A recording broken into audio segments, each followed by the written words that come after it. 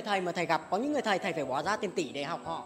Có những người thầy thầy bỏ ra rất nhiều tiền để lắng nghe họ nói trong vòng 1 đến 2 phút thôi. Và điểm chung của họ đều là những người gì? Đọc sách. Và họ đều nằm lòng cái tuyên bố viên này. Họ đều ứng dụng và làm theo cái tuyên bố viên này. Trước đó thì họ cũng đã từng cãi cha, cãi mẹ. Nhưng từ khi mà cuộc sống của họ thay đổi là vì cái cách thức giao tiếp của họ thay đổi. Họ không bất hiếu với ông bà bố mẹ nữa. Họ không nói dối người khác nữa. Không nói dối ông bà bố mẹ nữa. Họ không phán xét bạn khác nữa, không chê trách bạn khác nữa. Họ luôn tin họ có thể làm được. Chúng ta trong tuyên bố học viên chúng ta nói là tôi tin tôi có thể chinh phục mọi mục tiêu. Cái tuyên bố học viên này chúng ta cần làm lòng và ứng dụng nó. Hãy nhớ các bạn hoàn toàn có thể làm được mọi thứ nhé các bạn giỏi hơn thầy rất nhiều các bạn giàu hơn thầy rất nhiều. Giàu về tuổi trẻ đấy.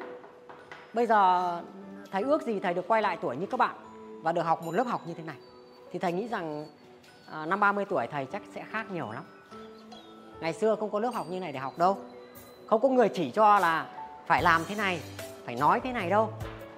Không có. Bố mẹ đi làm suốt ngày về tối cái ăn cơm cái là xong. Đi ngủ hôm sau đi học tiếp. Vậy lên thầy hy vọng là các bạn à, tiếp tục đọc sách nỗ lực đọc sách. À, và hẹn gặp các bạn trong à, đọc sách 365 level 3 kỹ năng thuyết trình. Và để kết thúc cho chương trình ngày hôm nay thì à, chúng ta cùng chúc mừng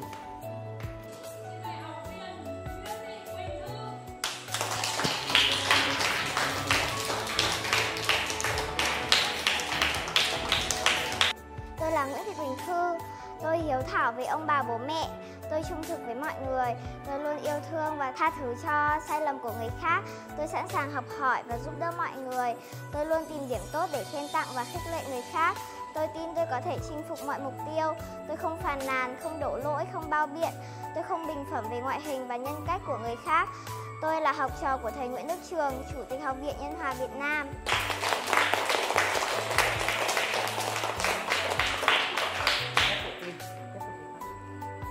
Sau khi học xong khóa học đọc sách 365 level 2 của Học viện Nhân hòa Việt Nam, con cảm thấy con đã tự tin và biết lắng nghe bố mẹ hơn.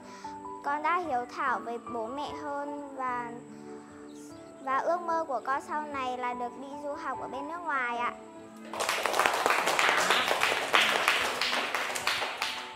thầy cũng đã từng có ước mơ đi ra nước ngoài và thầy cũng đã ra nước ngoài rồi thầy lại về nước à, đó.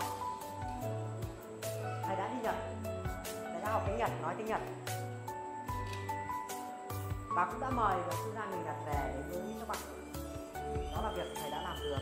À, và thầy hy vọng là con sẽ học tốt ngôn ngữ chính bây giờ đó chính là tiếng anh. À, khi mà mình giỏi tiếng anh thì cả thế giới mở ra trước mắt chúng ta. Không ai từ chối một người giỏi tiếng Anh cả. Mọi cánh cửa cơ hội đều mở ra và nếu những ai mà yếu kém tiếng Anh hoặc là học hành không cẩn thận, chảy máng thì mọi cái cửa đều đóng sập lại. Không ai đón chào chúng ta? Nên hy vọng là con hãy củng cố tiếng Anh thật tốt và đặc biệt như thầy nói, làm gì thì làm làm người trước, làm giàu sau nhé. Ok. Chúc mừng con đã hoàn thành level 2 và hy vọng con sẽ sớm trở thành một thuyết gia trong level 3